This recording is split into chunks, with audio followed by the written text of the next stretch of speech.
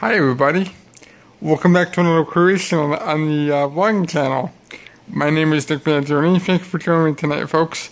You get an extra bonus uh, video today.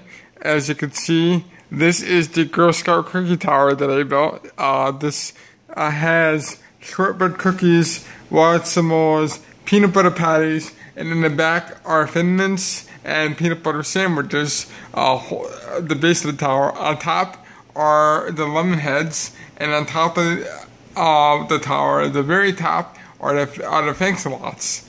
Uh, so you get the you get the first peek of the construction of the Girl Scout Cookie Tower. So it's awesome. I will be reviewing this. I will be getting a, a few more packages of Girl Scout cookies, and then I will be reviewing this once I get the package you will have ultimate review. You will have a Girl Scout Cookie Week on the channel. I will be reviewing everything uh, from Fake Slot down to the Wild S'mores down here. So stay tuned for that. That's going to be awesome.